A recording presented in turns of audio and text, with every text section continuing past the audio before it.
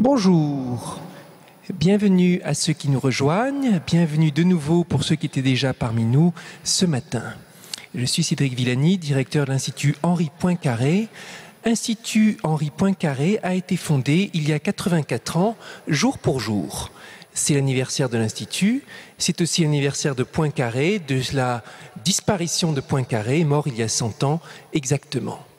Cet après-midi, nous allons continuer notre fête autour de Poincaré et des sciences mathématiques. Pour vous accompagner cet après-midi, pour euh, faire le lien avec vous, je vous présente Leila Schneps, mathématicienne de talent qui s'est également essayée à de multiples arts, comme l'art d'être romancière. Leila Bonjour. Alors, la première chose que je dois dire, que je suis vraiment contente de vous voir là, parce que je crois beaucoup en ce genre d'initiative qui, qui montre les maths d'un côté, d'un angle, sous un angle différent, vraiment quelque chose qui est différent des maths qu'on fait à l'école. Alors, moi-même, euh, lycéenne, je n'aimais pas les maths. C'est-à-dire que j'adorais les maths, mais je ne le savais pas parce que je détestais les maths à l'école et j'aimais beaucoup toutes sortes de jeux et de, de puzzles que je faisais à la maison. Et sans me rendre compte du tout que c'était la même chose. Et je pense qu'il y a beaucoup, beaucoup de lycéens et même d'écoliers qui souffrent de cette dichotomie et tout effort euh, pour faire le pont entre les deux, les deux zones mathématiques, école et, vie, me plaît beaucoup. Donc je suis très, très pour ce genre de manifestation organisée par l'IHP.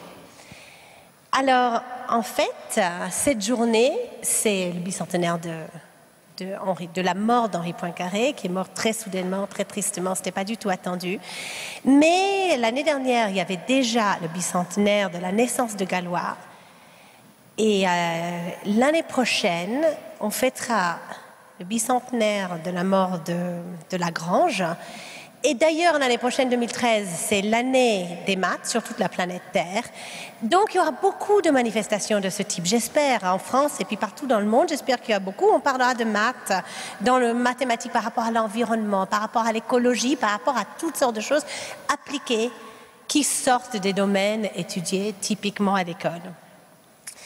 Alors, j'aimerais juste, avant les exposés les, les manifestations que nous allons voir, vous parler un tout petit peu d'Henri Poincaré parce que c'est quand même le héros de cette journée, que c'était un mathématicien immense, que c'est difficile d'imaginer tout ce qu'il a pu apporter dans combien de domaines en relativité, en physique.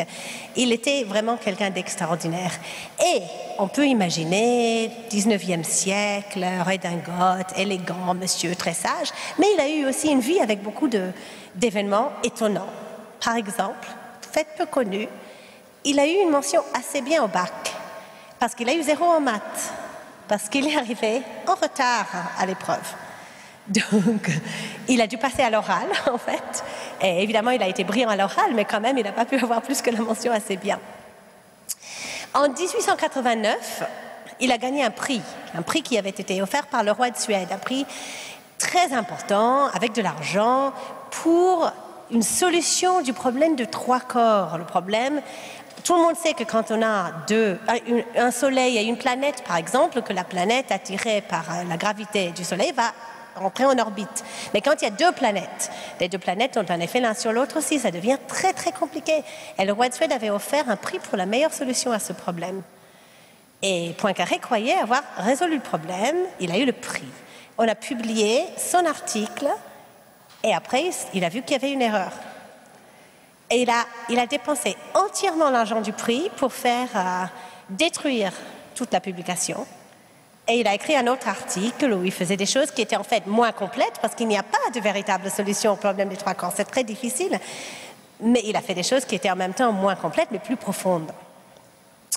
Et la dernière anecdote que j'aimerais rencontrer sur Poincaré, qui est peut-être pas du tout euh, connue, c'est qu'il a joué un rôle essentiel dans l'affaire Dreyfus.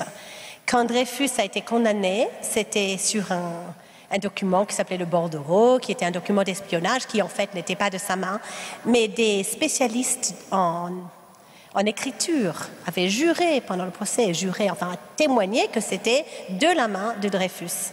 Et cinq ans plus tard, à la révision, on a appelé Poincaré et d'autres mathématiciens très importants de son temps, Darboux et Appel, on les a appelés pour former une équipe pour analyser les analyses d'écriture. Et ils ont pris toutes les machines de l'Observatoire de Paris, ils ont détourné l'Observatoire entièrement pendant une semaine. Au lieu de mesurer le ciel, ils ont mesuré l'écriture du bordereau. Et ils ont écrit un rapport où ils ont complètement démoli les expertises des experts en écriture. Voilà. Et ils ont joué donc un rôle très important dans le fait que Dreyfus a finalement été disculpé. Alors, au programme d'aujourd'hui, nous allons voir des exposés sur des sujets, je crois, qui sont intéressants pour absolument tout le monde, mathématiques ou non, et des clowns, des clowns, un couple de clowns qui s'appelle l'île logique. Alors, c'est des clowns qui se spécialisent dans des, présentations scientifiques. Je les ai déjà vus à midi. Peut-être certains d'entre vous les ont déjà vus. Et c'était vraiment bien parce qu'ils ont mis en scène, par exemple, le problème des trois corps avec les deux clowns et une boule. C'est pas évident parce que le problème des, trois corps est compliqué, les mouvements sont très compliqués. Et moi, je trouve que voir euh, une représentation visuelle de ce genre de choses, c'est épatant. Je les ai vraiment beaucoup appréciés et je crois qu'ils vont faire quelque chose d'un peu plus compliqué pour les plus grands de cet après-midi. Voilà, il y aura après les clowns à 16h une pause café où on prendra un café dans le grand salon. Et maintenant, j'aimerais bien présenter notre premier orateur. Voilà, venez c'est professeur Tokieda. Alors, c'est un monsieur extrêmement international. Ce professeur Tokieda est japonais. Il a étudié, il a fait ses études au lycée en France et il a fait ses études universitaires au Japon. Il a fait sa thèse à Princeton. Il est maintenant professeur à l'université de Cambridge. Il fait de la recherche en maths, il fait de la recherche en physique, il fait de la recherche, je crois, toute la largeur de ses mathématiques et tout ce qu'il fait, il m'a dit tout à l'heure, est largement inspiré par les travaux de Poincaré. Alors, M. Tokida est spécialiste dans la physique des jouets et il aime beaucoup présenter les mathématiques à travers des objets familiers et quotidiens. Je crois que c'est très original, vous allez voir. Alors, on peut l'applaudir.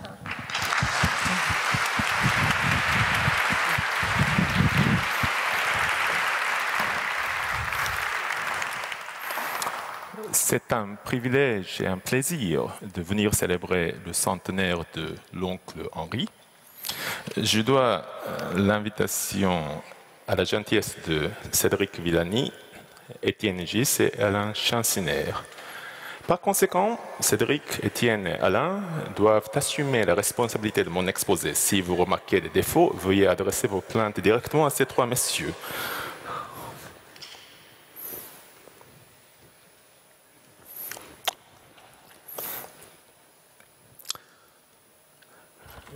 J'ai apporté un tube dont un bout est marqué d'une tache noire, l'autre bout d'une tache orange, et je vais le lancer, le faire tourner. Et comme il tourne autour de son milieu, il n'y a pas de raison, a priori, qu'on voit le bout noir plutôt que le bout orange, ou vice-versa. Pourtant, quand je le lance, qu'est-ce que vous voyez? Je vois les taches noires, n'est-ce pas? Et je lance n'importe comment de ma main gauche, par exemple, je vois toujours, et ça tombe, je vois toujours la tache noire. Comment ça se fait que je vois toujours la tache noire? Mais quand je secoue ce tube que je lance, maintenant on voit l'orange. Toujours l'orange. Et pourtant, si je frotte le tube contre mes cheveux qui bien, bien noirs, ah, c'est toujours orange. C'était pas assez noir, donc je frotte contre mes pantalons qui sont noirs et c'est toujours orange. Mais si je frotte contre ma chemise qui est bleue, alors ça devient noir. C'est bizarre ça, toujours noir. Il y a déjà un premier mystère. Pourquoi voit-on noir plutôt que orange, orange plutôt que noir hein? Mais il y a aussi un deuxième mystère. Quand vous allez voir le noir, car je vous montre le noir, Combien de tâches voyez-vous? J'en vois quatre. Une, deux, trois, quatre. Il faut attendre un peu pour que ça se calme. Et je vois quatre tâches. Mais pourquoi quatre au lieu de trois, au lieu de cinq, au lieu de six? Très, très curieux ça. Alors, j'aimerais expliquer en deux étapes. D'abord, parfois vous voyez quatre, parfois en fait vous allez voir trois. Mais pour l'histoire du premier mystère, pourquoi on voit noir plutôt qu'orange ou orange plutôt que noir? En fait, le bout que vous voyez, est-ce que vous êtes aperçu? C'est le bout que j'appuyais chaque fois pour lancer. car lorsque vous lancez, le tube va partir comme ça, mais il y a deux mouvements. Il y a le mouvement, disons, de rotation en grand, qui tourne, tourne, mais vous voyez, le tube, car je l'ai lancé en appuyant, a un autre mouvement de rotation, comme ça autour de son axe. Il y a la révolution la rotation, révolution en grand et rotation en petit. Et le bout que je viens d'appuyer à droite dans le dessin avance à cause de la révolution, mais la rotation va en arrière. Donc cette vitesse est retranchée à la révolution, révolution moins la rotation. Du coup, ce bout appuyé va lentement. D'autre part, l'autre bout que je n'ai pas appuyé avance à cause de la révolution, mais il avance aussi à cause de la révolution, parce que maintenant la rotation va en avant. C'est plus. Donc ce bout va plus rapidement, et le bout que vous voyez, c'est le bout que j'ai appuyé, c'est-à-dire le bout plus lent. Et le plus rapide, on ne le voit pas. Mais il y a aussi le deuxième mystère que j'aimerais aborder. Voilà. Quand je vois les taches noires, j'en vois, oh là là, il n'y a pas beaucoup de lumière. Euh, je vois quatre. Alors, pour bien voir, euh, veuillez venir euh, en vue plongeante plutôt. Pour bien comprendre ce deuxième mystère, j'ai apporté un autre tube. Un tube plus court. Maintenant, il faut que je secoue d'abord. Qu'est-ce que vous voyez? Eh bien, je vois trois taches plutôt que quatre. Et quand je lance le bout orange, vous voyez aussi, il faut attendre un peu, trois tâches. Alors pourquoi trois pour le court et quatre pour le plus long? 3 et 4. Il se trouve que 3 et 4, c'est le rapport dit d'aspect. Alors, vous savez, lorsque le tube est lancé, en fait, il se met en roulement. Et vous savez ce qu'on obtient si vous faites rouler une roue, disons, un cercle le long d'une ligne comme ça, directement? Si on met une tâche que j'ai marquée en bleu, que va faire cette tâche Quelle sera sa trajectoire? Eh bien, depuis le temps de Descartes et Pascal que vous avez derrière vous, on sait que la courbe qu'on obtient est très jolie, dite cycloïde. Et ce fameux cycloïde, vous voyez la tache bleue qui se promène sur le cycloïde. Pendant que la tache bleue se promène sur la partie arrondie, bien lisse, ça va. Mais de temps en temps, il y a des pics où la tache s'arrête instantanément et rebrousse son chemin pour entrer dans la partie ronde après. Paf, paf, paf, et chaque pic, elle s'arrête, la tache. Lorsque le tube roule, il fait ça, il est en train de rouler, et par terre, il dessine un grand cercle en roulant. Eh bien, dans votre imagination, essayez de mettre un plafond imaginaire, transparent, par-dessus pour être en contact avec le haut du tube. Le haut du tube, c'est le tube que j'ai appuyé, en fait. Du coup, le tube roule sur le plafond aussi et décrit ce fameux cycloïde. Et qu'est-ce que vous voyez? Paf, paf, paf, paf. Chaque fois que la tâche revient vers le haut pour nous faire face, elle s'arrête instantanément. J'ai murmuré, euh, j'ai marmonné tout à l'heure comme quoi le bout que j'ai appuyé est plus lent que l'autre bout, mais lenteur n'est pas tout. En fait, la tâche s'arrête instantanément, paf, paf, paf, paf. C'est pour cette raison que nous voyons cette tâche si bien. En fait, ici, nous avons affaire à deux mouvements circulaires, révolution et euh, rotation. Et ces deux mouvements circulaires peuvent être visualisés de la façon suivante. Imaginez un mouvement circulaire, par exemple cette rotation, qui est porté par un vent qui souffle de tous côtés. Et là, vous obtenez un mouvement en spirale, le long d'un cylindre. Un mouvement circulaire qui est porté par un vent. D'autre part, imaginez que ce mouvement circulaire, petit mouvement circulaire, est porté par un vent, mais le vent lui-même fait tout un circuit, est un mouvement circulaire. Alors, le mouvement qu'on obtient est très intéressant. C'est une spirale, de nouveau, mais le long d'une surface qu'on appelle un tore. La surface d'un beignet, et ça circule, circule comme ça. Ce qui est vraiment étonnant, et c'était une des découvertes les plus marquantes de notre oncle Henri Poincaré, c'est que tous les mouvements qui soient résolubles, qu'on peut résoudre dans un sens très précis de la dynamique, peuvent se visualiser en fait comme ces spirales sur de tels, ce qu'on appelle tors invariants. C'était la vision de Poincaré et ces taches qu'on voyait, taches noires ou taches oranges, 4, 3, parce que c'est une combinaison de roulements, on peut dire que ce sont des, ces taches qu'on voit, ce sont des appels de phare que nous envoie le tort invariant vers notre univers. Ce mouvement est très stable. Maintenant, j'aimerais déstabiliser l'univers en dérangeant. Et pour ce faire, j'apporte un autre jouet.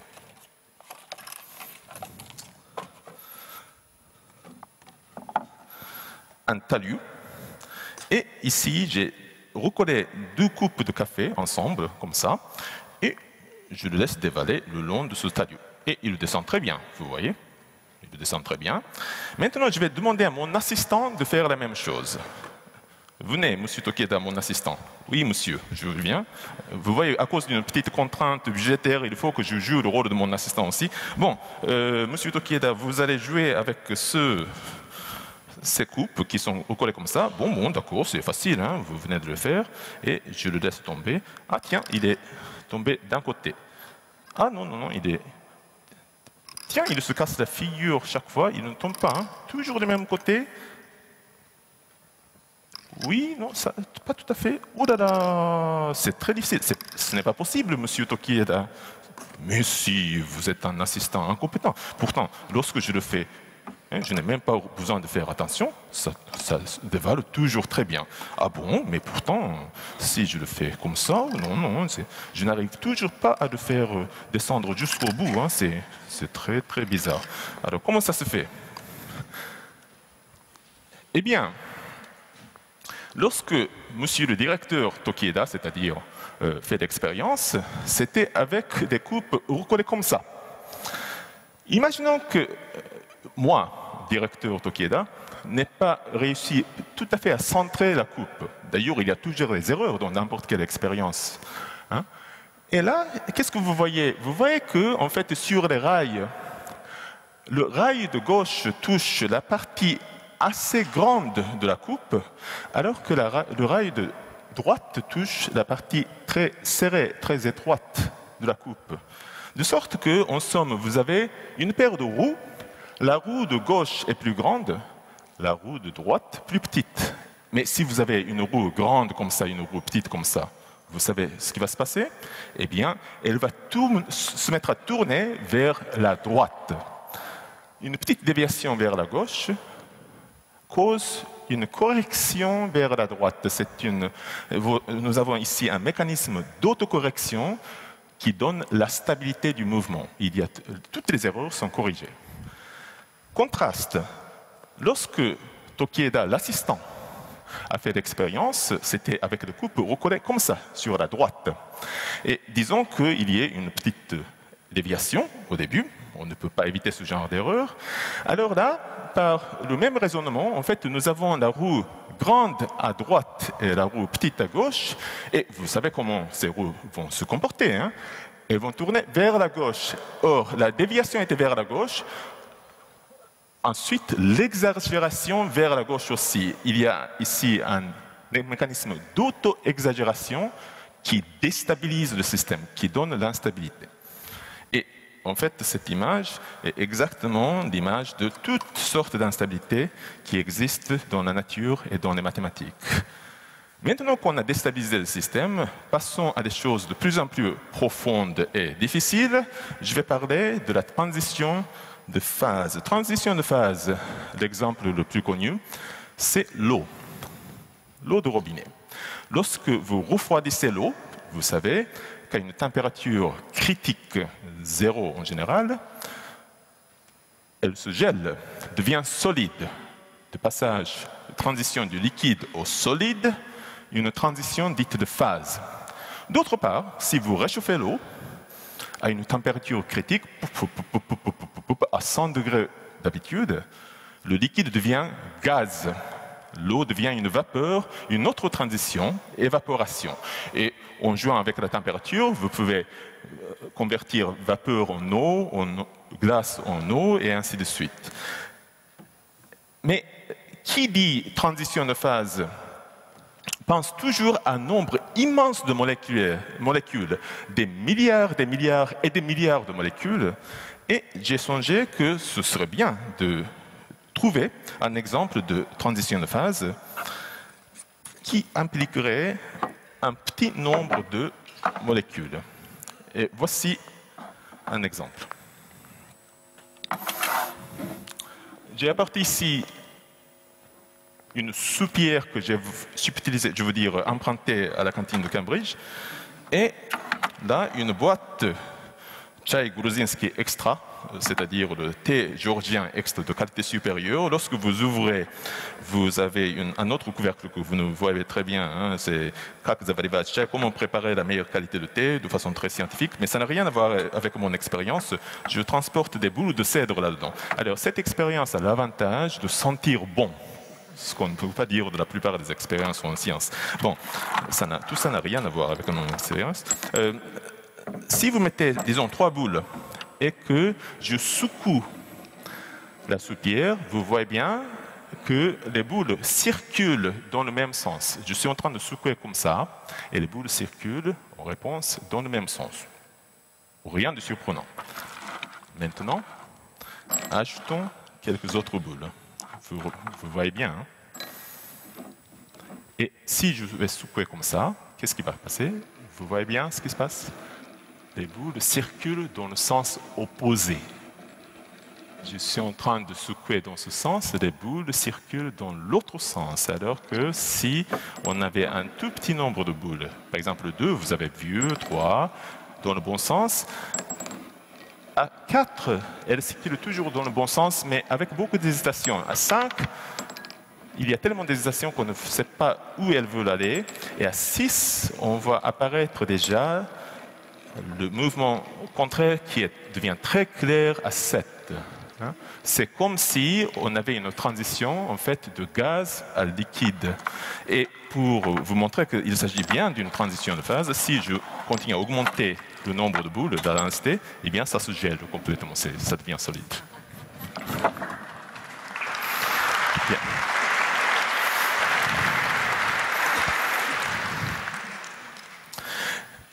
après la transition de phase, qui est un des grands thèmes de, la recherche scientifique d'aujourd'hui, je vais passer à des choses encore plus dérangeantes, à des limites discontinues. On parle aussi de bifurcation.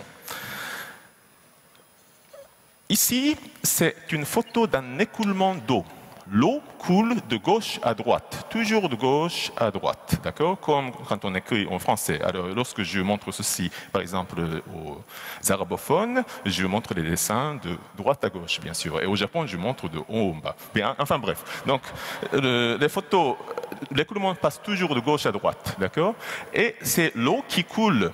Hein Et j'ai mis dedans, comme obstacle, une boule. En fait, c'est un cylindre, mais pensez à une boule. Et là, on va, oh là là, c'est pas très, très lisible, mais il y a une, notion très importante qui régit tous les phénomènes d'écoulement de fluides dans le monde, dans l'univers, qui s'appelle le nombre de Reynolds, RE. Bon, on va utiliser toujours l'eau. Et l'eau a toujours la même viscosité, c'est-à-dire que c'est un peu collant, mais pas trop. Vous pouvez penser grosso modo qu'il s'agit de la vitesse. Donc Reynolds, c'est à peu près la vitesse. Donc à une toute petite vitesse, disons le nombre de Reynolds 0,1, vous voyez que l'écoulement, montré sur la photo, est bien ordonné, hein, très joli, il n'y a pas de désordre. Et ce genre d'écoulement s'appelle laminaire. Qu'est-ce qui se passe lorsque j'augmente le nombre de Reynolds, lorsque l'écoulement devient plus rapide Multiplions la vitesse par un facteur de 100. Et là, lorsque Reynolds devient 10, vous voyez apparaître derrière l'obstacle, derrière la boule, deux petits tourbillons hein, qui sont bizarres et qui dérangent un peu l'écoulement. L'écoulement n'est plus si bien ordonné. Et il y a un peu de pagaille derrière l'obstacle à cause des tourbillons. Est-ce que vous pouvez deviner ce qui se passe lorsque j'augmente Reynolds davantage? Par exemple, lorsque je passe au nombre de Reynolds 100, vous pouvez deviner?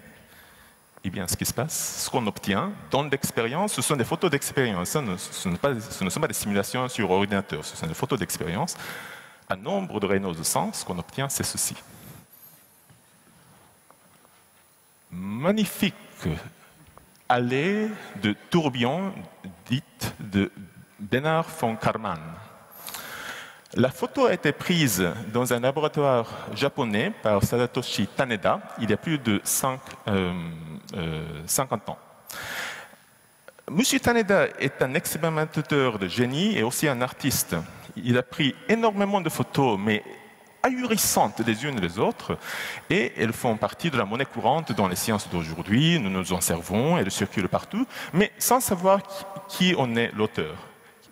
Et en fait, c'est M. Taneda, c'est un nom à retenir. Il vient de décéder il y a deux ans au Japon. Et cette allée de tourbillon de Bernard von Karman se trouve à toutes les échelles. Par exemple, quelques collègues m'ont envoyé cette photo, prise, une photo aérienne prise donc de l'avion euh, euh, au-dessus de Greenland. Vous avez ici une espèce de tapis de nuages qui coule de haut en bas sur la photo, mais fendu par un pic de montagne. Et derrière ce pic, qu'est-ce que vous voyez? Des tourbillons alternés comme ça, c'est l'allée de tourbillon de Bernard von Karman. Ça, c'est sur l'échelle de plusieurs kilomètres. Revenons à nos moutons, plutôt à nos tourbillons. Lorsque vous augmentez Reynolds encore davantage jusqu'à Reynolds 1000, hein, en dépassant l'allée de tourbillon, on obtient une pagaille complète, comme ça la troisième image. Et comme c'est la pagaille, on appelle ce genre d'écoulement turbulent. Et si on poussait encore plus, si on augmentait Reynolds de plus en plus jusqu'à l'infini, qu'est-ce qu'on obtiendrait à la limite? De plus en plus de pagaille Eh bien, la surprise, c'est que à l'infini, on retrouve l'écoulement laminaire. Un exemple très frappant et extrêmement difficile à analyser de ce qu'on appelle la limite discontinue, c'est-à-dire euh, ce que donnent les approximations successives n'ont rien à voir, ne ressemblent pas du tout à ce que donne la limite. Et c'est un des plus grands problèmes difficiles de toutes les mathématiques de la physique d'aujourd'hui, que de comprendre ce genre de limite discontinue. Alors, encore une fois,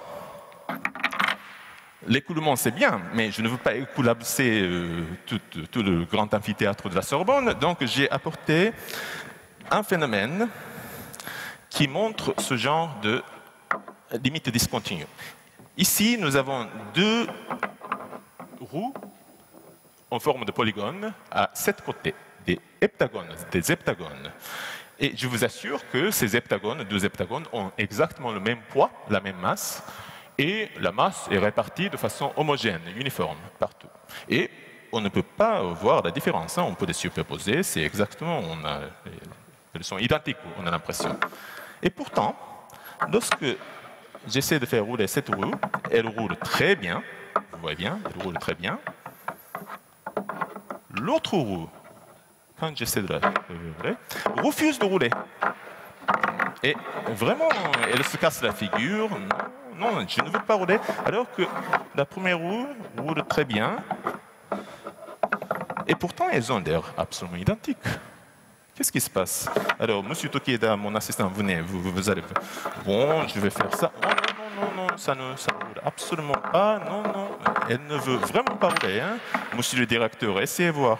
Bon, quand je fais ça, aucun problème.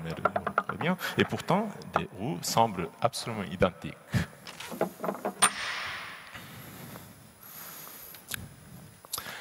Ces roues, vous vous êtes rendu compte, ne sont pas identiques. Je vous ai dit qu'elles avaient la même masse et les masses étaient réparties de façon homogène, mais je ne vous ai pas dit qu'elles étaient de la même forme exactement. Effectivement, la roue qui roule n'est pas un heptagone exact, mais c'est un hexagone dont on a arrondi les côtés un tout petit peu vers l'extérieur. En mathématiques, on parle de convexité. un tout petit peu arrondi. Et là, vous voyez ce qui se passe. Lorsque une roue, vous roulez, vous voyez le point de contact qui, au début, se trouve à un sommet, à un coin, mais pour passer à l'autre coin, au coin suivant, le point de contact peut transiter, peut faire le passage de façon lisse, de façon continue, tout doucement comme ça. Parce qu'il y a un tout petit peu d'arrondissement. Mais dès qu'on élimine cet arrondissement, dès que l'heptagone devient exact, vraiment un hexagone, un heptagone au côté tout à fait droit, comme ça, l'autre heptagone qui ne roule pas, pardon, pardon, ça va, ça va. Euh, alors, qu'est-ce qui se passe? Pendant le roulement, le point de contact reste figé sur un coin, comme un pivot. Et alors que l'heptagone se baisse, il n'y a rien, il n'y a pas de contact, il n'y a pas de contact, jusqu'au moment où le coin suivant entre en contact en faisant paf et qui dissipe toute l'énergie et qui s'arrête. Et c'est pour cette raison que l'autre ne roule pas, parce qu'il n'y a plus d'arrondissement. Et ce qui est frappant, c'est que quel que soit l'arrondissement, même si c'est minuscule, ça marche, mais lorsque vous passez à la limite de l'arrondissement nul, tout d'un coup, le comportement n'a rien à voir avec le cas des approximations. Une limite discontinue, et là, on se fait mal vraiment au moment de l'impact. Ces discontinuités mènent à d'autres horizons, et j'aimerais vous montrer quelques exemples de ce qu'on appelle la turbulence, qu'on a déjà vu. Alors,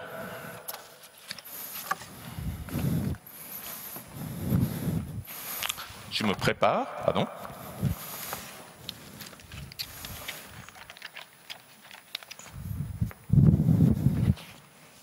Et comme je suis très gentil, je me déchausse. Voici un cône que j'ai fabriqué d'une feuille de papier. Et quand je le laisse choir, qu'est-ce qui va se passer? Vous savez tout ça C'est très élégant, n'est-ce pas? Il tombe à une vitesse très élégante qui fait plaisir. Maintenant, prenons deux cônes comme ça et comme ça. Est-ce que vous voyez? L'un est plus pointueux, l'autre moins pointueux. Et si je les laisse tomber, qui va, lequel va tomber plus vite? Le pointueux, bien sûr. Et on voit très bien, le pointu va beaucoup plus vite parce qu'il y a moins de freinage, moins de résistance de l'air. Vous êtes peut-être en train de penser à la fameuse expérience de Galilée qui aurait laissé choir deux boules de la, du haut de la tour de Pise qui est inclinée, mais ce n'est pas du tout en fait la même expérience ici, parce que chez Galilée, on pouvait négliger la résistance de l'air que nous avons ici beaucoup, et c'est pour cette raison d'ailleurs que lorsque ces cônes tombent, ils tombent à une vitesse constante, sans être accélérés. Et en tout cas, ce cône pointu tombe plus vite que ce cône moins pointu parce qu'il a moins de résistance. Bien. Maintenant, comparons ces deux cônes. Ils ont la même forme, mais évidemment, l'un est plus grand et l'autre plus petit. La même forme. Alors, qu'est-ce qui se passe? C'est assez intéressant et moins évident.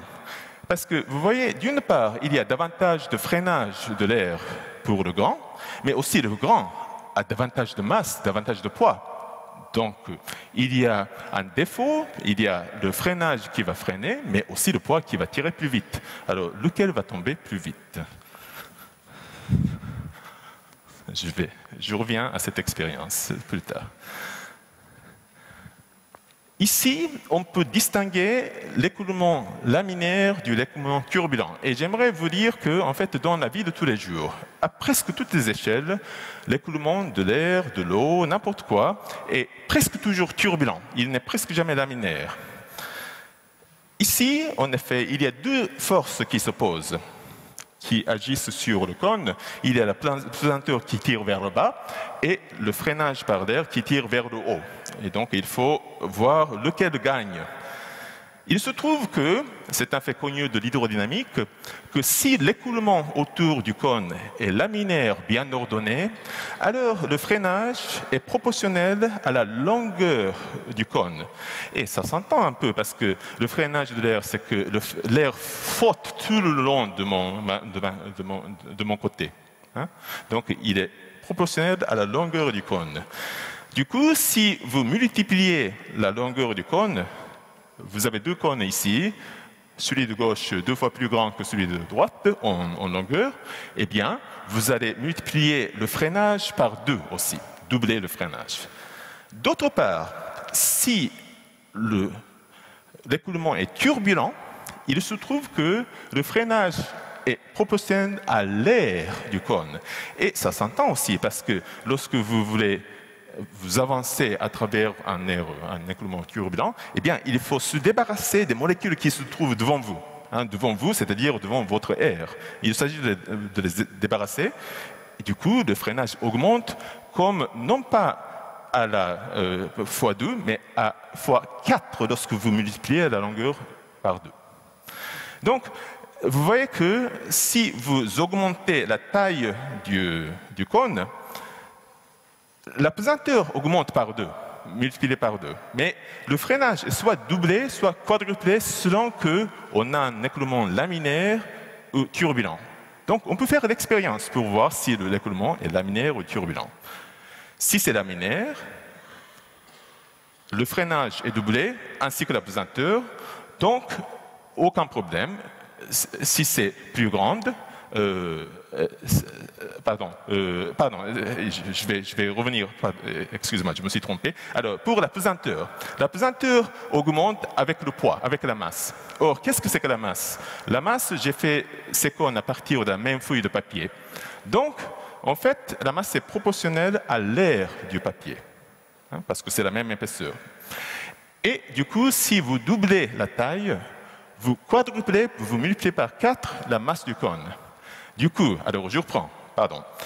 Si vous êtes dans le cas laminaire, le freinage est multiplié par 2, mais la masse, c'est-à-dire la pesanteur, par 4. Donc c'est la pesanteur qui gagne. Celui qui est plus, euh, plus grand doit tomber plus vite. Dans le cas turbulent, le freinage est multiplié par 4 ainsi que la pesanteur. Donc, de toute façon, à toutes les tailles, le freinage et la pesanteur s'équilibre, donc toutes les tailles devraient tomber à la même vitesse. On va voir si l'écoulement est turbulent ou laminaire. Ici, deux cônes. Vous êtes prêts? À peu près à la même vitesse. Hein. Il est tombé un peu plus tôt, mais pas de beaucoup à la même vitesse, c'est-à-dire que l'écoulement est complètement turbulent autour de ces cônes. Et comme je disais, l'écoulement de la plupart des phénomènes physiques que nous trouvons autour de nous sont turbulents. Par exemple, si je laisse tomber une feuille de papier comme ça, pas un cône, vous savez ce qui se passe? Elle tombe comme ça, voltige comme des feuilles d'automne. Par contre, si vous laissez tomber une feuille plus allongée, vous savez comment elle tombe? Elle va faire ça. Est-ce que la caméra vous a montré? Tout à fait différent. Hein? Et il y a des feuilles d'arbres qui profitent de cette différence, en fait. Bien, j'ai oublié mes chaussettes, chaussures.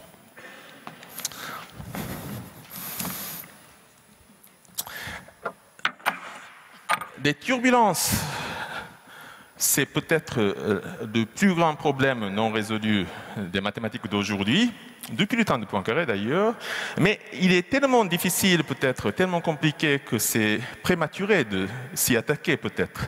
Mais en attendant, il y a des, disons, des réflexions complémentaires. Au lieu de compliquer les choses de plus en plus, on peut en fait essayer de casser un système en temps fini. Alors, mieux vaut faire une expérience. Vous savez, lorsque je laisse tomber une pièce de monnaie, vous entendez ce genre de bruit, à tel point que si dans un café vous entendez quelqu'un faire ça, c'est une pièce de monnaie qui est tombée. Mais ici, cette pièce de monnaie est vraiment lourde. Et quand je la lance, vous allez voir que le mouvement dure longtemps, et comme il dure longtemps, on peut voir des détails qui nous échappent. Le disque tourne de plus en plus fort, et plus en plus fort, en fait, ça dure plus longtemps que je l'imaginais, et c'est très bien. Les reflets de la surface montrent qu'en fait, il tourne mais il ne tourne pas très très vite, hein, en fin de compte. Mais quelque chose est en train de s'accélérer. Vous, entendez ta, ce bruit. Et il n'y a pas de moteur ni rien. Hein. Il n'y a rien sur la table. Je ne suis en train de contrôler. Enfin, rien du tout. C'est tout à fait un mouvement par lui-même, tout seul. Ça s'accélère de plus en plus. Mais bientôt, ce mouvement va se terminer. Et lorsqu'il se termine, je vous invite à écouter le son.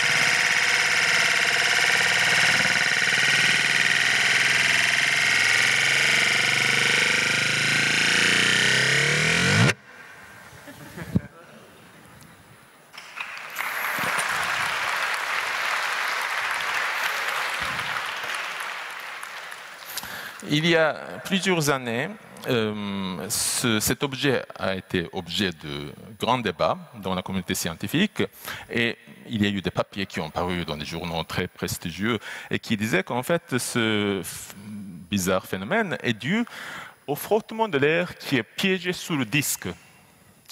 À l'époque, j'habitais Montréal et je n'avais pas vraiment d'argent pour faire l'expérience, mais il y avait déjà des collègues en Californie qui disaient que non, non, non, ce n'est pas vrai parce qu'on a fait la même expérience dans le vide. Et on a vu exactement le même phénomène. Pas le son, mais le même phénomène. Alors, je m'étais dit, ce serait bien d'avoir une expérience dans le vide, mais je ne peux pas créer le vide parce qu'un vide, euh, mine de rien, il coûte cher Donc, je suis allé dans une boutique d'accessoires de, euh, de, jeunes demoiselles et j'ai acheté ceci, un bracelet. Là, il ne peut y avoir de frottement de l'air piégé sous le disque parce qu'il n'y a plus de disque. Et là, vous allez voir, c'est un mouvement très joli. J'espère que je... Voilà. Donc, je l'ai lancé. Dans un premier temps, vous voyez ce bracelet qui tourne. C'est comme une danseuse. C'est très joli, n'est-ce pas? Et bientôt, le bracelet va se ralentir et il va passer à une deuxième phase du mouvement. Regardez, donc il se ralentit, il, euh, va de moins en moins vite, mais il tient toujours debout, toujours debout, mais à peine. Et maintenant, presque soudainement,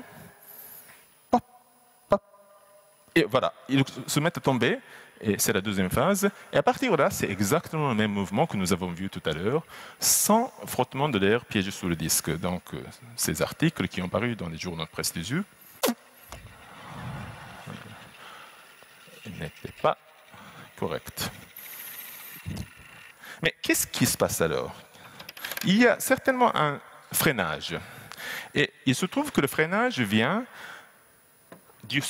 pas du son, mais de la vibration. Vous voyez, lorsque le point de contact circule, ce point de contact, c'est aussi le point de pression, et lorsque la pression varie de façon circulaire, périodique, elle envoie des ondes, des vibrations vers l'infini. Et ces ondes sont dissipées, sont gaspillées et perdent de l'énergie.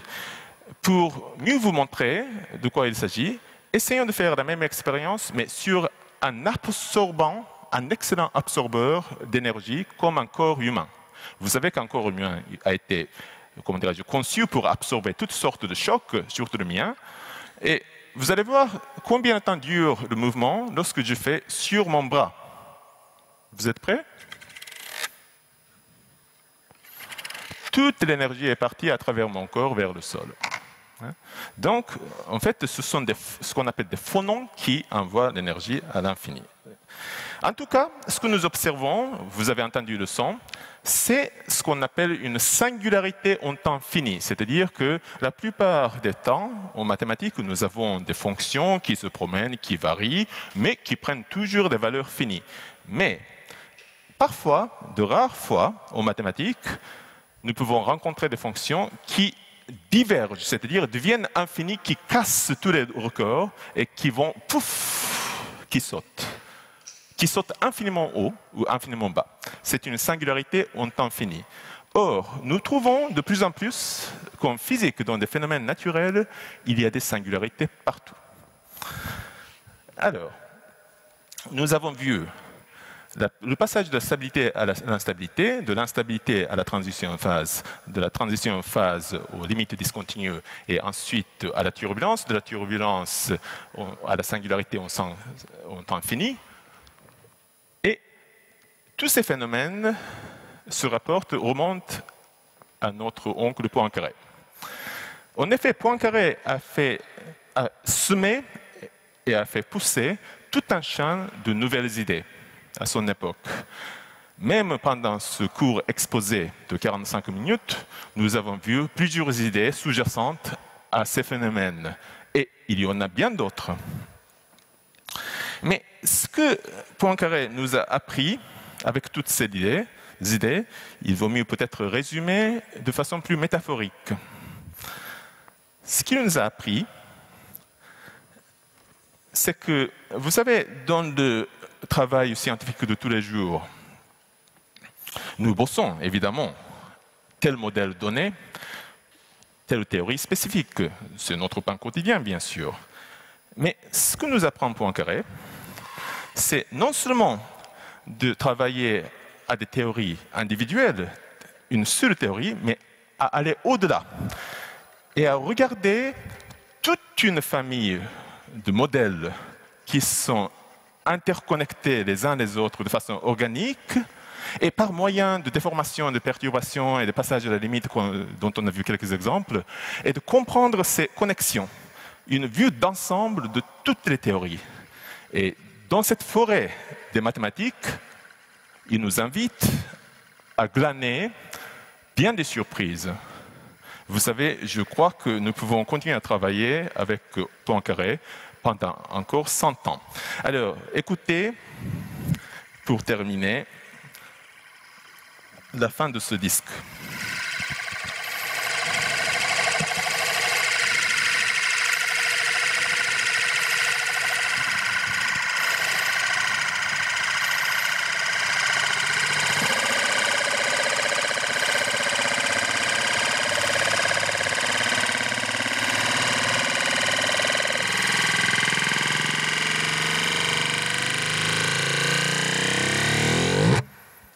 Que je termine sur cette note. Merci.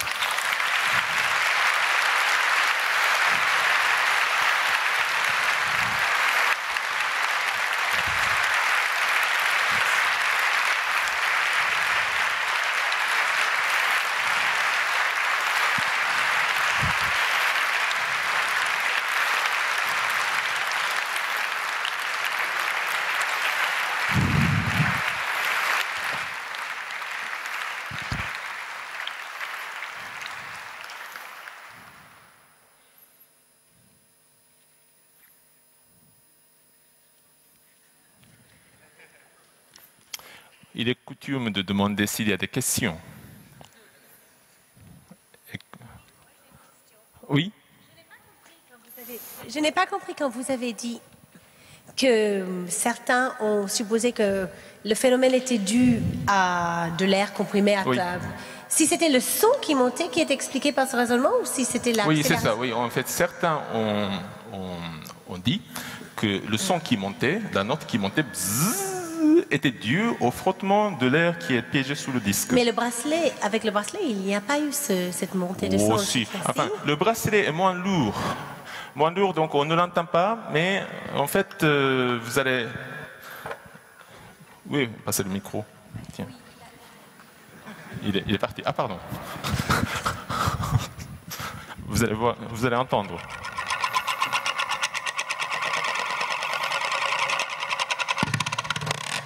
D'accord euh, Donc ça ne dure pas longtemps parce que c'est moins lourd, donc euh, moins d'entraînement. Mais de toute façon, tout monte. Oui. La première fois qu'on a vu votre assistant, euh, j'ai pas vraiment compris l'expérience avec les deux gobelets. Les gobelets? Moi non plus. Alors, répétons l'expérience. C'est ça que vous appelez gobelets, hein? C'est ça des gobelets à café. Alors, vous voyez, lorsque je prends ces gobelets, qui sont recollés comme ça, ils descendent très bien de haut en bas. Aucun problème. Alors que si je prends ces gobelets qui sont collés dans l'autre sens, pour ainsi dire, j'essaie de le faire descendre jusqu'en bas, mais en fait, il se casse la figure, tantôt en tombant d'un côté, tantôt en tombant de l'autre côté. Et il est extrêmement difficile en fait de faire arriver jusqu'en bas du talus, de la pente. Hein, je n'y arrive presque jamais, alors qu'avec l'autre, enfin même sans regarder, c'est très facile. Mais qu'est-ce qui se passe là? C'est bizarre. Et euh, en fait, ce gobelet qui descend euh, jusqu'en bas, est stable parce que Supposons qu'au cours de son dévalement, il se trompe et en fait il, est sur le point de se casser la figure comme ça, hein, de, ce côté. Eh bien, ici, vous voyez, le contact fait que vous avez effectivement une roue assez grande, alors que l'autre côté, le contact, la roue est plus petite, un cercle plus petit, un cercle plus, plus grand. Et vous savez ce qui se passe si vous avez un grand cercle, une grande roue ici, une petite roue ici? Ça va partir dans l'autre sens, c'est-à-dire dans le sens à corriger l'erreur que fait le gobelet. De même dans l'autre sens. Avec ces gobelets-là, c'est exactement le contraire l'erreur s'empire, devient de plus en plus pire, parce que si il se trompe un tout petit peu de ce côté, donc il s'est décalé comme ça, alors vous avez une petite roue, un petit cercle ici au contact, un grand cercle ici. Du coup, grande roue, petite roue va se dévier dans le même sens que le sens de l'erreur. Donc l'erreur devient de plus en plus exagérée et ça tombe. Et c'est ça le mécanisme fondamental qui apparaît dans tous les systèmes, tous les phénomènes d'instabilité dans le monde.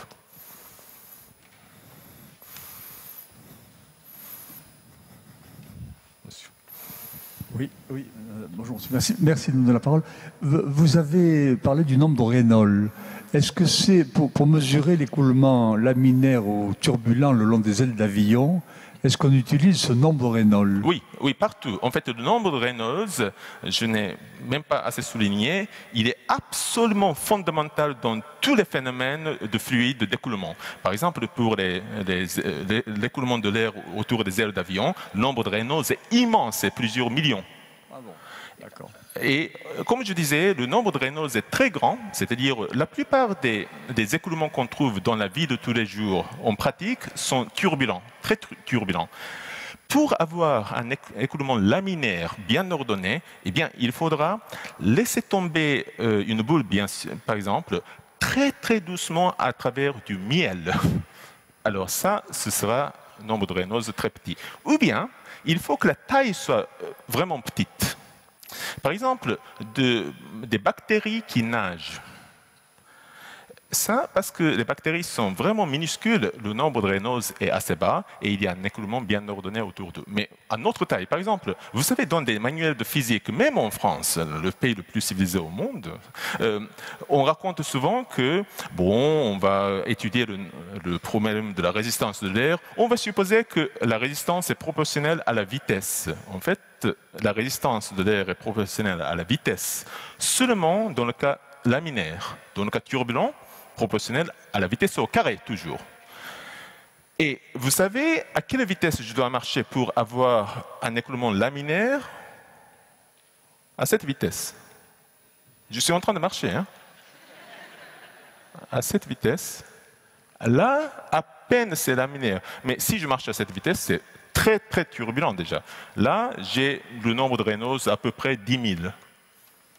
Ça monte très vite. Oui, il y a. Pardon, il y a deux.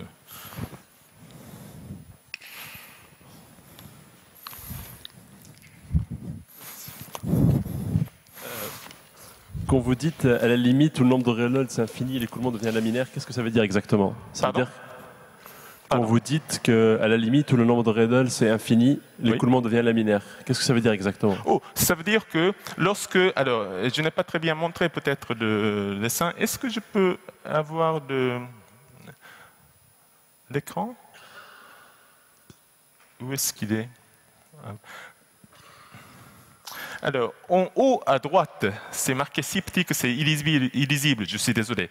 Mais en fait, la définition, la conception exacte et précise du nombre de Reynolds, c'est la densité du fluide, si le fluide est lourd ou léger, fois la taille de l'objet, si l'objet est grand ou petit, fois la vitesse du mouvement de l'écoulement, divisé par ce qu'on appelle la viscosité, si le fluide est collant ou pas collant.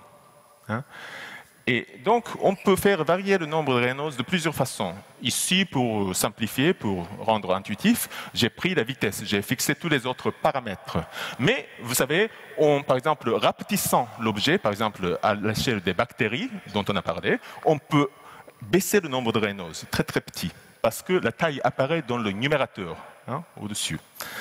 Ou bien, pour augmenter le nombre de Reynolds, vous pouvez passer à la vitesse infinie, mais c'est difficile, c'est ça que vous, vous, dites. Mais aussi, vous pouvez diminuer la viscosité. Au lieu d'utiliser par exemple le miel qui est très visqueux, très collant, on peut utiliser par exemple de l'huile moins visqueux. Ensuite, on peut utiliser de l'eau qui est encore moins visqueuse. Ensuite, de l'air qui est encore moins visqueux, et ainsi de suite. Donc, on peut passer à la limite des choses de plus en moins en moins visqueuses et on peut réaliser expérimentalement le nombre de Reynolds infini. En l'occurrence, c'est peut-être un peu trop de détails, mais en baissant la température ambiante, on, on allant à des températures extrêmement basses, près de zéro absolu, en fait, on peut réaliser ce qu'on appelle la suprafluidité, par exemple avec de l'hélium fluide. Et là, le nombre de Reynolds devient vraiment infini et on peut faire des expériences de ce genre. Mais c'est difficile hein, de faire des, des expériences. Monsieur, je, euh, voulais dire que, l'expérience des deux, des deux roues oui, des, des, heptagones. Est, est, illustrée dans l'expérience pardon, des, deux, des deux toupies là, qui, qui ah. roulent là, différentes, les toupies blanches, là, les machins blancs, voilà, est illustrée absolument tous les jours, tout le temps, euh, par les trains. Parce que les trains, les surfaces de roulement, les surfaces de roulement des roues des trains, ce sont des cônes aussi. Et dans les tournants, il y a une compensation de la roue extérieure par la roue extérieure qui va tourner plus vite que la roue intérieure. Voilà, vous avez tout à fait raison. Ce que monsieur dit, c'est que en fait, les roues d'un train qui sont sur des rails sont en fait un tout petit peu comme ces cônes stables. C'est-à-dire que lorsqu'il y a un léger décalage, et il y en a beaucoup en fait dans un train, il y a un mécanisme d'autocorrection. D'ailleurs, ce qui est aussi très important, c'est que lorsqu'on prend un virage, lorsqu'on tourne, on a un problème parce que ce rail à l'intérieur est plus court que ce rail à l'extérieur.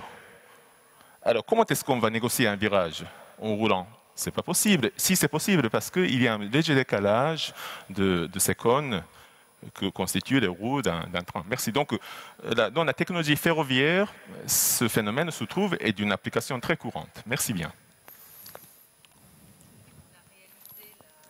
Euh, dans le cas d'un fluide non newtonien Alors, on a, Madame dit qu'on a réalisé ces applications au chemin de fer avant ces études théoriques. Alors, c'était en même temps. En fait, cette idée, euh, ça, remonte au 19e siècle déjà. En fait, on comprenait très bien. Et euh, mon mérite a été euh, d'aller chercher des coupes de café pour vous montrer. Mais c'est bien. Au lieu d'amener un train, par exemple, sur la Seine.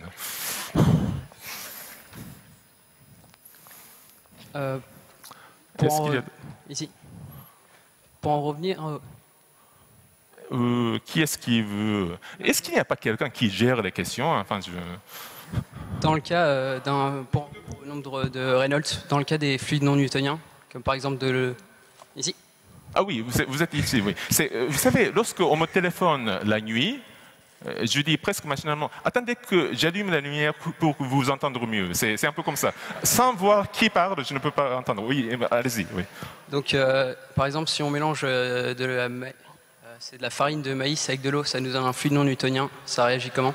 Oui, alors ça c'est très compliqué, euh, évidemment vous en savez trop, mais euh, alors ce sont des fluides complexes et là il est beaucoup plus difficile de parler d'un seul nombre de Reynolds, mais il y a des moyens, comme vous savez très bien, d'analyser de, tels fluides. Mais ça c'est une recherche en cours. Il y a beaucoup beaucoup d'inconnus, non seulement sur les résultats, mais sur, disons, la bonne façon de penser sur les définitions même. On ne sait pas quelle définition prendre.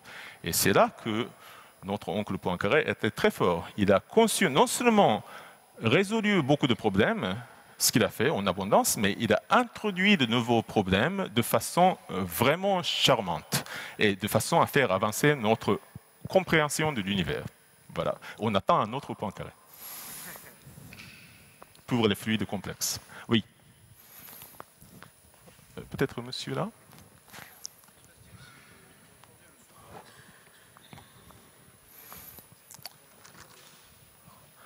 Monsieur demande ce qui se passe si je retourne le support. Bon, bon l'un et l'autre vont, tomber, parce que c'est. Mais c'est vrai que celui-ci, qui était stable en roulement, est beaucoup plus instable, comme ça en position, c'est vrai. En haut d'une colline, on est plus instable que. D'ailleurs, c'est un peu comme euh, une carrière euh, dans la société. Hein. Si on est au sommet, on ne peut que dégringoler, alors que si on est au fond, on ne peut que remonter.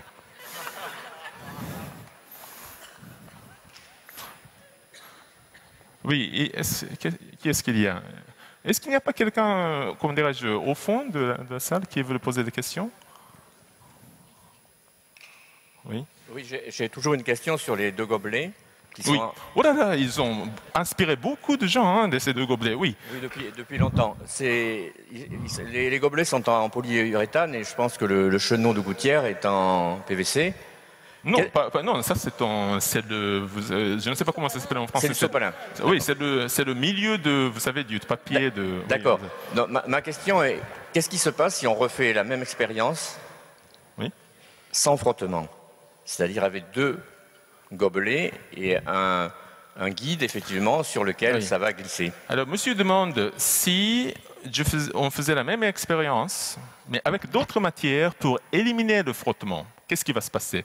Bon, d'abord, euh, il est difficile d'éliminer le frottement, mais d'autre part, essentiellement la même chose va se passer. Mais ça, c'est une raison un peu moins, disons, jolie et simple que l'analyse que je viens de donner. Mais essentiellement la même chose. Donc, c'est ce gobelet sera stable et l'autre sera instable encore. Mais ça, c'est, enfin, il y a des, c'est ce que les mathématiciens n'aiment pas beaucoup, c'est-à-dire que nous aimons travailler sur, comment dirais-je, si on veut comprendre un phénomène, ou toute une classe de phénomènes, comme j'ai fait remarquer à la fin de mon exposé, toute une forêt de phénomènes, eh bien, nous voulons regarder l'arbre le plus simple possible qui contient toutes les difficultés essentielles du, problème, plutôt que de, comment dirais-je, compliquer les choses euh, pour nous noyer dans des, dans des complexités. Donc, euh, ce que je viens de vous montrer, beaucoup de frottement, et c'était vraiment le cas le plus simple. Bon, si on élimine le frottement, on peut faire l'analyse, mais ça devient de plus en plus compliqué. Et ces complications cachent un peu l'essence du problème, mais le résultat reste le même, monsieur. J'ai une autre question. oui, mais peut-être qu'on peut laisser une autre personne. Euh, je, veux vraiment que, enfin, j'aime beaucoup lorsque les mêmes personnes reposent des questions, c'est très bien. Mais peut-être qu'il n'y a pas d'autres questions, des, gens qui n'ont pas encore posé des questions? Par exemple, où est-ce que j'ai acheté ma belle chemise euh, bleue? Non? Non, c'est pas au Japon. Oui, vous êtes là. Bonjour. Euh, est-ce que l'écoulement de, de von Karman qu'on avait tout à l'heure, oui. Euh, c'était une fractale? Non, c'était. Mais je sais, où vous voulez vous en voulez venir euh, Je vais vous montrer l'image. Est-ce qu'on peut avoir le fond Oui, voilà. Ça. Alors, on parle beaucoup dans la littérature populaire, disons, de fractal. Euh, euh, fractal, en fait, vous avez vu beaucoup d'images, mais engendrées par des ordinateurs, je suis sûr, hein, informatiquement. Euh, mais aussi, il existe quelques exemples qui peuvent être modélisés par des fractales dans la nature. Mais l'essence, l'essence du fractal, ce n'est pas un fractal, mais l'essence du fractal, c'est ce qu'on appelle autosimilitude. C'est-à-dire que si vous regardez le phénomène à une certaine échelle, par exemple sous un microscope, vous voyez telle ou telle chose. Si vous agrandissez, dézoomez, vous voyez la même chose. Si vous dézoomez à une grande échelle, vous voyez encore la même chose. Et là, il y a, vous voyez, l'autre similitude. Parce qu'au début, vous avez un certain phénomène, c'est un peu, un peu désordonné. Mais à partir d'un certain moment, vous voyez cette alternance et un tourbillon après l'autre se ressemble, mais devient de plus en plus grand. Hein? et donc, ici, il y a une autre similitude, c'est-à-dire que si vous agrandissez tout ou rapetissez tout, vous allez voir à peu près la même chose. Et là, dans ce sens, oui, il y a quelque chose, un rapport avec le fractal. Et là aussi, si j'ose dire, j'ose ajouter, euh, c'est le nombre de Reynolds critique de transition du laminaire au turbulent. Vous vous rappelez hein? Au-dessus, l'écoulement de viande une pagaille pas possible, c'est turbulent. En dessous, c'était assez laminaire, très ordonné. Et lorsqu'on a une transition comme ça, d'une image qualitative à une autre image qualitativement différente, souvent il y a un déchaînement, pour ainsi dire, de, des, échelles, des autosimilitudes qui interviennent. Et ça, c'est un phénomène qui a été beaucoup étudié en physique statistique sous le nom de renormalisation il y a ce qu'on appelle des exposants critiques qui euh, donnent des autosimilitudes. Dans ce sens, c'est un rapport avec les fractales.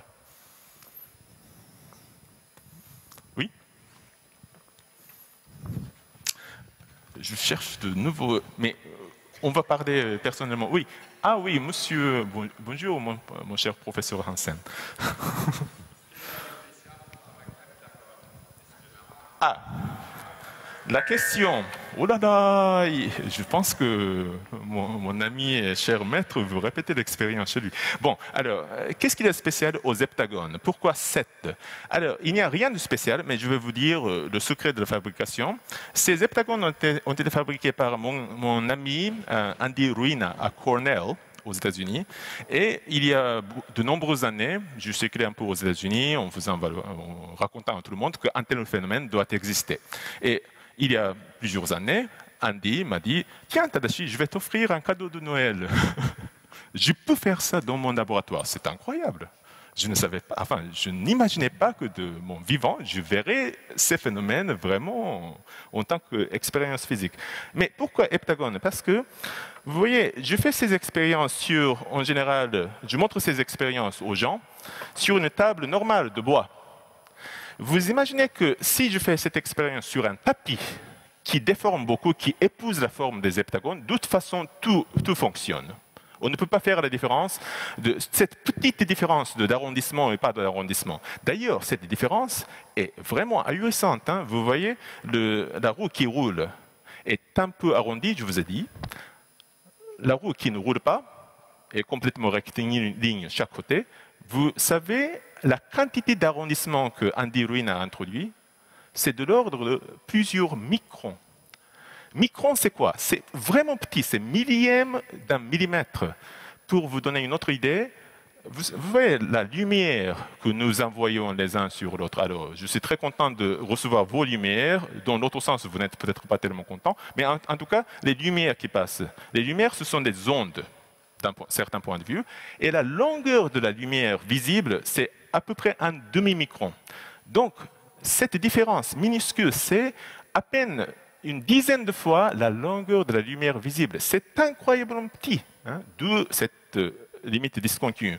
Mais pour revenir sur un tapis, tout marche. Mais vous savez, si on avait des octogones ou plus, la différence aurait été trop petite pour une surface normale comme du bois. Donc, je ne voulais pas euh, avoir trop de côtés. D'autre part, si c'était des hexagones, alors on aurait vu la différence déjà quand je montrais aux gens. Et je, voulais cacher la différence, en même temps montrer sur l'expérience la différence. Et il se trouve que pour cette taille, qui sont facilement transportables dans mes poches, l'heptagone était optimal. C'est ça le secret.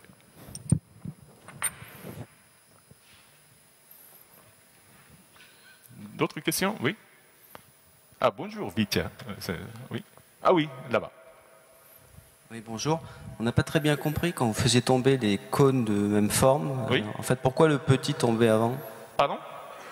On fait, tomber les cônes de la même forme et? Voilà, mais c'était le, plus petit qui tombait en premier Oui, alors là, je vais vous expliquer. C'est vrai, c'est le plus petit qui tombait, mais un peu avant, enfin, qui atterrissait un peu avant le grand. Mais c'est parce qu'il se trouve que euh, pendant le gros de leur trajectoire, de, leur chute, ils ont la même vitesse. Mais au début, pendant une demi-seconde, ce qu'on euh, atteint, ce qu'on appelle ça, vitesse limite, plus vite, plus tôt que l'autre cône. L'autre cône se tarde un tout petit peu. Donc au début, il y a une toute petite différence qui continue jusqu'en bas. Alors je vais vous montrer en illustrant euh, ce qui se passe lorsque je superpose les deux cônes. Vous voyez ce que je fais? Le petit dans le grand ou sur le grand. Si je les laisse tomber, ils tombent ensemble. Vous allez me dire, tiens, c'est évident. D'ailleurs, la première fois que j'ai vu ça, je me suis dit, tiens, c'est évident, c'est pas intéressant. Mais plusieurs secondes plus tard, je me suis dit, si je mettais le plus petit en dessous du plus grand, qu'est-ce qui se passe? Ils se séparent. Ils se séparent, mais une fois séparés, vous voyez, il y a quelques courants d'air, mais ils gardent la même distance mutuelle. C'est parce qu'au début, le cône se met à tomber un peu plus vite, le grand retarde un peu, un peu plus, mais à partir de là, dès qu'ils ont atteint la vitesse limite, la vitesse constante, c'est la même vitesse limite et ils tombent ensemble. Donc, ce que vous voyez à l'atterrissage, en fait, c'est dû à une petite erreur au début. Mais pendant tout le trajet, presque tout le trajet, c'est la même vitesse. La même vitesse parce que l'écoulement est turbulent, la pesanteur est proportionnelle au carré de la taille, ainsi que le freinage qui est proportionnel au carré de la taille. Annulation exacte. Oui.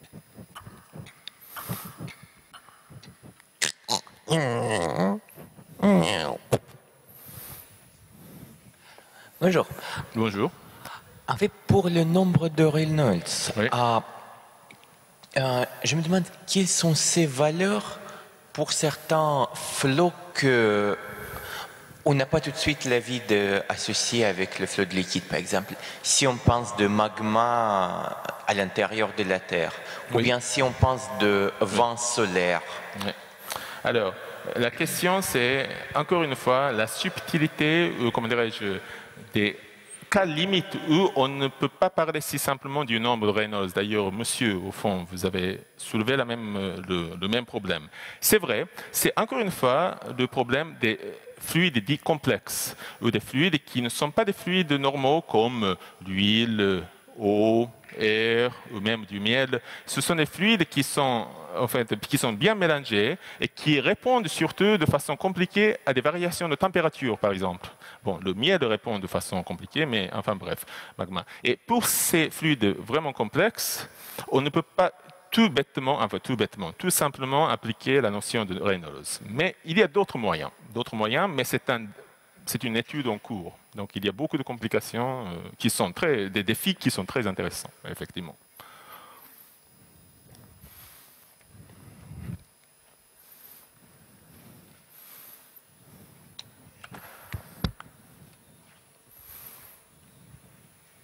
Ah, mais il y a, je pense que non, monsieur n'est pas allé chercher. Vous êtes allé chercher quelqu'un au fond?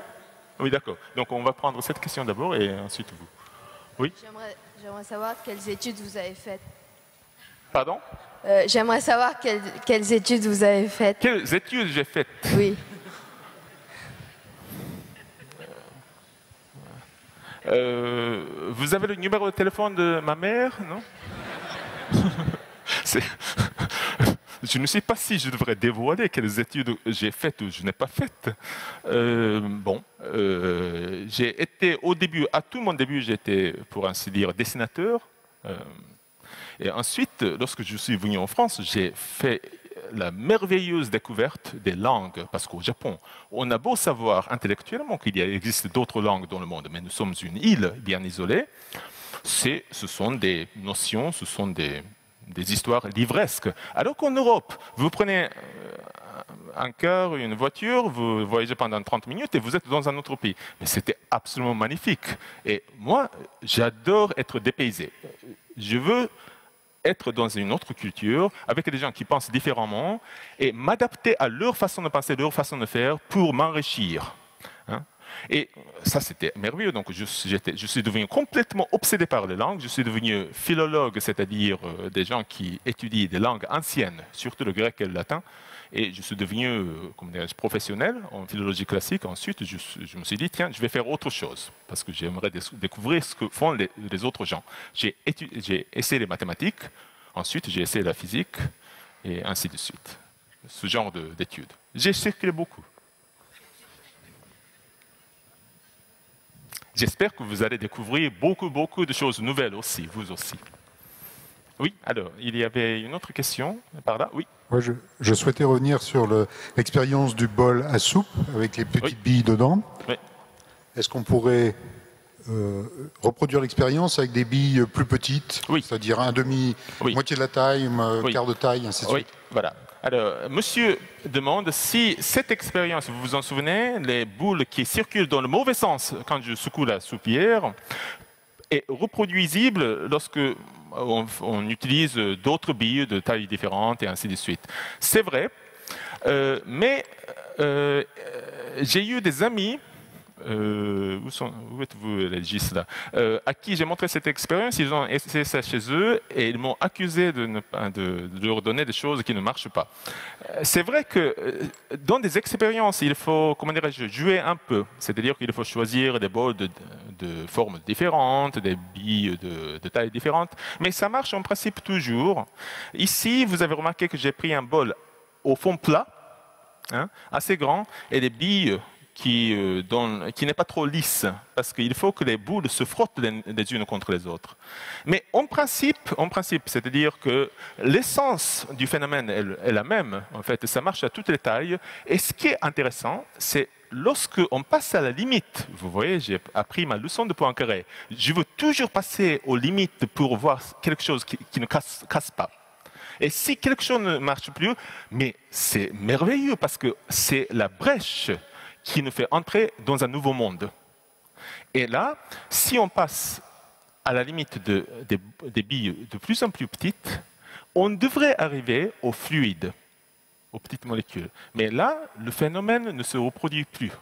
Une autre limite est discontinue. Et cette limite, quelques-uns de mes amis et moi, nous avons regardé, on ne la comprend pas encore.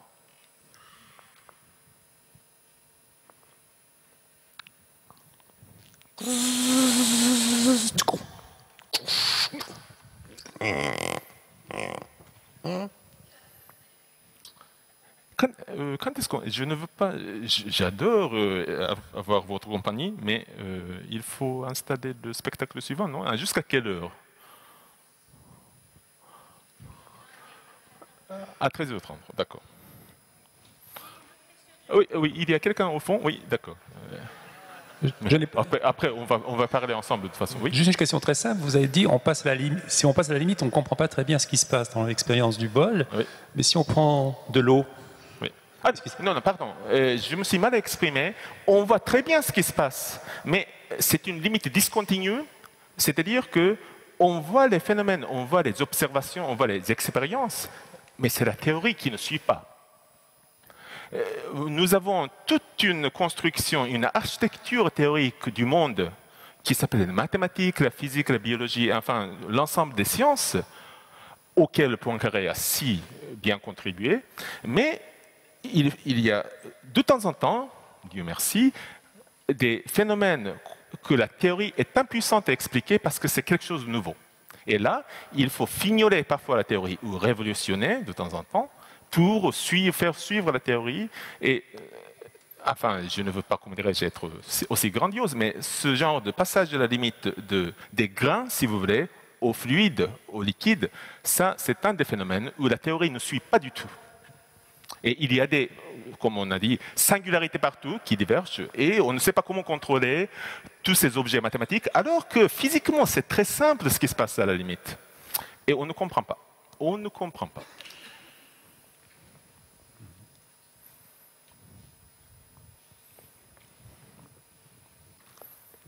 Donc, comme dirait Poincaré, ce sont des, des difficultés qui se posent. Et ce ne sont pas des difficultés qu'on a posées. Il a dit qu'il y a des problèmes qui se posent et il y a aussi des problèmes qu'on pose. Mais ce sont des problèmes qui se posent à nous.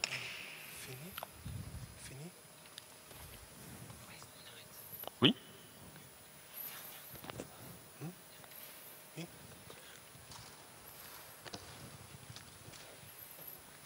Ah, il y a quelqu'un au fond. Euh, pourquoi dans le cas d'un Reynolds euh, infini, on retombe dans le cas d'un écoulement laminaire? Pourquoi? Oui.